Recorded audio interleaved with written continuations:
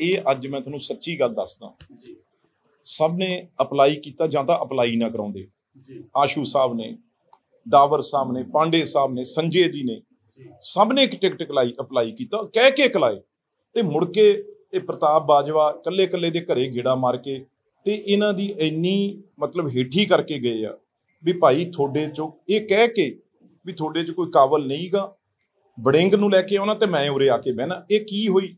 ਲੁਧਿਆਣੇ ਦੇ ਕਾਂਗਰਸੀਆਂ ਨੂੰ ਤਾਂ ਉਹਨਾਂ ਨੇ ਇਹ ਇਹ ਇੱਕ ਤਰ੍ਹਾਂ ਦਾ ਉਹ ਬੇਇੱਜ਼ਤੀ ਕੀਤੀ ਆ, ਪਰ ਉਹ ਰੰਗ ਲੁਧਿਆਣੇ ਦੇ ਕਾਂਗਰਸੀ ਇਹਦਾ ਹਿਸਾਬ ਲੈਣਗੇ, ਇਹਦਾ ਬਦਲਾ ਲੈਣਗੇ ਵੀ ਤੁਸੀਂ ਬਾਹਰੋਂ ਧਾੜ ਵੀ ਆ ਕੇ ਬਣ ਕੇ ਦੋਨੋਂ ਜਾਣੇ, ਇੱਕ ਸੀਐਲਪੀ ਲੀਡਰ ਇੱਕ ਪ੍ਰਧਾਨ, ਤੁਸੀਂ ਲੁਧਿਆਣੇ ਨੂੰ ਲੁੱਟਣ ਆਗੇ ਜੀ ਇਹ ਤੁਹਾਨੂੰ ਲੱਗਦਾ ਵੀ ਲੁਧਿਆਣਾ ਸਭ ਤੋਂ ਅਮੀਰ ਸੂਬਾ ਏ, ਨਾ ਸ਼ਹਿਰ ਆ ਤੇ ਲੋਕ ਸਭਾ ਏ, ਤੇ ਇਹ ਸਭ ਤੋਂ ਇੰਡਸਟਰੀਅਸਟ ਹਰ ਚੀਜ਼ ਸਭ ਤੋਂ ਵੱਧ ਆ, ਤਾਂ ਦੋਨਾਂ ਦੀ ਅੱਖ ਇੱਥੇ ਆ, ਹੋਰ ਉਹ ਕੀ ਕਰਨਾ ਹੈ ਹੋਰ ਉਹ- ਉਹਨਾਂ ਉਹਨਾਂ ਕੋਲ ਐਮਐਲਏ ਉਹ ਹੈਗੇ ਹੀ ਆ। ਉਰੇ ਸਿਰਫ ਆ ਕੇ 20 30 ਦਿਨ ਚ ਬੜੇ ਬੜੇ ਘਰਾਨਾ ਚ ਉਹਨਾਂ ਨਾਲ ਲੰਚ ਡਿਨਰ ਕਰਨ ਆਏ ਆ ਵੱਡੇ ਵੱਡੇ ਪਾਰਕਾਂ ਚ ਸੈਰ ਕਰਨ ਆਏ ਆ ਤੇ ਉਦੋਂ ਬਾਅਦ ਵੱਡੇ ਵੱਡੇ ਰੈਸਟੋਰੈਂਟਾਂ ਚ ਖਾਣਾ ਖਾਣ ਆਏ ਆ। ਪਤਾ ਕਰ ਲਓ ਕਿੱਥੇ ਠਹਿਰ ਰਹੇ ਇਹਨਾਂ ਦੇ ਪਰਿਵਾਰ। ਹਰ ਪਰਿਵਾਰ ਇਹਦਾ 5 ਸਟਾਰ ਚ ਠਹਿਰ ਰਿਹਾ ਹੈ। ਰਾਜੇ ਬੜਿੰਗ ਦਾ ਵੀ, ਜਿਹੜਾ ਬੜਿੰਗ ਕਹਿੰਦੇ ਆ ਨਾ, ਉਹਦਾ ਪਰਿਵਾਰ ਕਿ ਦੇਖ ਲਓ ਵੀ ਕਿਹੜੇ 5 ਸਟਾਰ ਹੋਟਲ 'ਚ ਰਹਿ ਰਹੇ ਆ। ਪਰ ਪ੍ਰਤਾਪ ਬਾਜਵਾ ਦੇਖ ਲਓ ਕਿਹੜੇ ਮਹਿਲ 'ਚ ਰਹਿ ਰਹੇ ਆ। ਇਹ ਤਾਂ ਐਸ਼ਾਂ ਕਰਨ ਆਏ ਨੇ, ਜੋ ਗੁਜਰਾਤ ਐਸ਼ਾਂ ਕੀਤੀਆਂ ਇਹਨਾਂ ਨੇ। ਉਹਦੇ ਬਾਰੇ ਵੀ ਇਹਨਾਂ ਦਾ ਮਾਡਲ ਪਤਾ ਹੈ। ਜੋ ਬੱਸਾਂ 'ਚ ਇਹਨਾਂ ਨੇ ਬੋਡੀਆਂ ਉਹ ਮੈਂ ਕਰਦਾ ਸਾਰੀ ਪ੍ਰੈਸ ਕਾਨਫਰੰਸ ਮੈਂ ਕਹਿੰਦਾ ਚਲੋ ਕਾਹਨੂੰ ਜਾਤੀ ਹੋਣਾ? ਕਾਹਨੂੰ ਇਹ ਪੋਲਿਟਿਕਸ ਚੱਲਦੀ ਰਹਿੰਦੀ ਆ? ਪਰ ਮੈਨੂੰ ਹੁਣ ਉਹ ਸਾਰੇ ਕਾਗਜ਼ ਸੀਬੀਆਈ ਇਨਕੁਆਇਰੀ ਮਾਰਕ ਕਰਾਉਣੀ ਪਊਗੀ।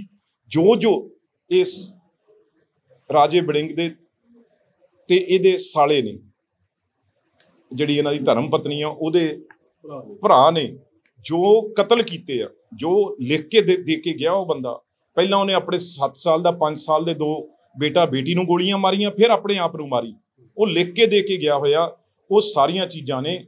ਉਹ ਸੀਬੀਆਈ ਇਨਕੁਆਇਰੀ ਆ ਜਿਹੜੀ, ਉਹ ਮੈਂ ਮਾਰਕ ਕਰਵਾਉਂਗਾ ਇਹ ਕੰਮ ਕਰਨਾ, ਜਿਹੜਾ ਇਹ ਮੇਰੇ ਨਾਲ ਲੱਗੇ ਹੋਏ ਨਾ, ਮੈਂ ਚਾਹੁੰਦਾ ਨਹੀਂ ਸੀ। ਪਰ ਇਹ ਤਾਂ ਹੁਣ ਮੈਨੂੰ ਮਰਾਉਣ ਤੇ ਹੀ ਆ ਗਏ। ਮੈਂ ਜਿਵੇਂ ਕਿਹਾ ਵੀ ਬਾਹਰ ਇੱਕ ਤਰ੍ਹਾਂ ਦਾ ਜਿਹੜਾ 2 ਕਰੋੜ ਮੰਗਿਆ 2 ਕਰੋੜ ਤੋਂ ਬਾਅਦ ਲੈ ਕੇ ਇਹ ਕਿਹਾ ਵੀ ਘਰ ਦੇ ਵਿੱਚ ਵੜਨਾ ਨਹੀਂ।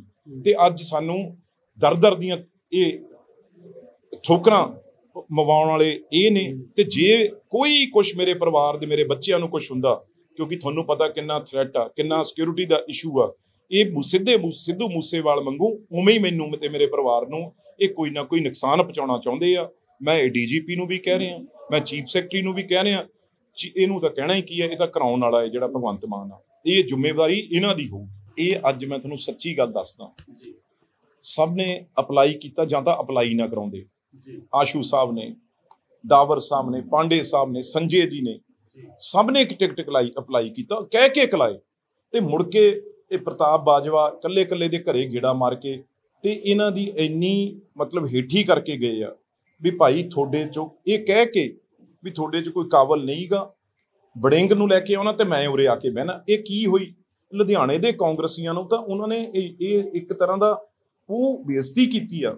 ਪਰ ਉਹ ਰੰਗ ਲੁਧਿਆਣੇ ਦੇ ਕਾਂਗਰਸੀ ਇਹਦਾ ਹਿਸਾਬ ਲੈਣਗੇ, ਇਹਦਾ ਬਦਲਾ ਲੈਣਗੇ ਵੀ ਤੁਸੀਂ ਬਾਹਰੋਂ ਧਾੜ ਵੀ ਆ ਕੇ ਬਣ ਕੇ ਦੋਨੋਂ ਜਾਣੇ, ਇੱਕ ਸੀਐਲਪੀ ਲੀਡਰ ਇੱਕ ਪ੍ਰਧਾਨ, ਤੁਸੀਂ ਲੁਧਿਆਣੇ ਨੂੰ ਲੁੱਟਣ ਆਗੇ ਜੀ ਇਹ ਤੁਹਾਨੂੰ ਲੱਗਦਾ ਵੀ ਲੁਧਿਆਣਾ ਸਭ ਤੋਂ ਅਮੀਰ ਸੂਬਾ ਏ, ਨਾ ਸ਼ਹਿਰ ਆ ਤੇ ਲੋਕ ਸਭਾ ਏ, ਤੇ ਇਹ ਸਭ ਤੋਂ ਇੰਡਸਟਰੀਅਸਟ ਹਰ ਚੀਜ਼ ਸਭ ਤੋਂ ਵੱਧ ਆ, ਤਾਂ ਦੋਨਾਂ ਦੀ ਅੱਖ ਇੱਥੇ ਆ, ਹੋਰ ਉਹ ਕੀ ਕਰਨਾ ਹੈ ਹੋਰ ਉਹਨਾਂ ਉਹਨਾਂ ਕੋਲ ਐਮਐਲਏ ਉਹ ਹੈਗੇ ਹੀ ਆ, ਉਰੇ ਸਿਰਫ ਆ ਕੇ 20 30 ਦਿਨ ਚ ਬੜੇ ਬੜੇ ਘਰਾਨਾ ਚ ਉਹਨਾਂ ਨਾਲ ਲੰਚ ਡਿਨਰ ਕਰਨ ਆਏ ਆ ਵੱਡੇ ਵੱਡੇ ਪਾਰਕਾਂ ਚ ਸੈਰ ਕਰਨ ਆਏ ਆ ਤੇ ਉਦੋਂ ਬਾਅਦ ਵੱਡੇ ਵੱਡੇ ਰੈਸਟੋਰੈਂਟਾਂ ਚ ਖਾਣਾ ਖਾਣ ਆਏ ਆ। ਪਤਾ ਕਰ ਲਓ ਕਿੱਥੇ ਠਹਿਰ ਰਹੇ ਇਹਨਾਂ ਦੇ ਪਰਿਵਾਰ। ਹਰ ਪਰਿਵਾਰ ਇਹਦਾ 5 ਸਟਾਰ ਚ ਠਹਿਰ ਰਿਹਾ ਹੈ। ਰਾਜੇ ਬੜਿੰਗ ਦਾ ਵੀ, ਜਿਹੜਾ ਬੜਿੰਗ ਕਹਿੰਦੇ ਆ ਨਾ, ਉਹਦਾ ਪਰਿਵਾਰ ਕਿ ਦੇਖ ਲਓ ਵੀ ਕਿਹੜੇ 5 ਸਟਾਰ ਹੋਟਲ 'ਚ ਰਹਿ ਰਹੇ ਆ। ਪਰ ਪ੍ਰਤਾਪ ਬਾਜਵਾ ਦੇਖ ਲਓ ਕਿਹੜੇ ਮਹਿਲ 'ਚ ਰਹਿ ਰਹੇ ਆ। ਇਹ ਤਾਂ ਐਸ਼ਾਂ ਕਰਨ ਆਏ ਨੇ, ਜੋ ਗੁਜਰਾਤ ਐਸ਼ਾਂ ਕੀਤੀਆਂ ਇਹਨਾਂ ਨੇ। ਉਹਦੇ ਬਾਰੇ ਵੀ ਇਹਨਾਂ ਦਾ ਮਾਡਲ ਪਤਾ ਹੈ। ਜੋ ਬੱਸਾਂ 'ਚ ਇਹਨਾਂ ਨੇ ਬੋਡੀਆਂ, ਉਹ ਮੈਂ ਕਰਦਾ ਸਾਰੀ ਪ੍ਰੈਸ ਕਾਨਫਰੰਸ, ਮੈਂ ਕਹਿੰਦਾ ਚਲੋ ਕਾਹਨੂੰ ਜਾਤੀ ਹੋਣਾ, ਕਾਹਨੂੰ ਨਿ- ਇਹ ਪੋਲਿਟਿਕਸ ਚੱਲਦੀ ਰਹਿੰਦੀ ਆ। ਪਰ ਮੈਨੂੰ ਹੁਣ ਉਹ ਸਾਰੇ ਕਾਗਜ਼ ਸੀਬੀਆਈ ਇਨਕੁਆਇਰੀ ਮਾਰਕ ਕਰਾਉਣੀ ਪਊਗੀ। ਜੋ ਜੋ ਇਸ ਰਾਜੇ ਬੜਿੰਗ ਦੇ ਤੇ ਇਹਦੇ ਸਾਲੇ ਨੇ, ਜਿਹੜੀ ਇਹਨਾਂ ਦੀ ਧਰਮ ਪਤਨੀ ਆ, ਉਹਦੇ ਭਰਾ ਨੇ, ਜੋ ਕਤਲ ਕੀਤੇ ਆ, ਜੋ ਲਿਖ ਕੇ ਦੇ ਦੇ ਕੇ ਗਿਆ ਉਹ ਬੰਦਾ, ਪਹਿਲਾਂ ਉਹਨੇ ਆਪਣੇ 7 ਸਾਲ ਦਾ 5 ਸਾਲ ਦੇ ਦੋ ਬੇਟਾ ਬੇਟੀ ਨੂੰ ਗੋਲੀਆਂ ਮਾਰੀਆਂ, ਫਿਰ ਆਪਣੇ ਆਪ ਨੂੰ ਮਾਰੀ। ਉਹ ਲਿਖ ਕੇ ਦੇ ਕੇ ਗਿਆ ਹੋਇਆ, ਉਹ ਸਾਰੀਆਂ ਚੀਜ਼ਾਂ ਨੇ।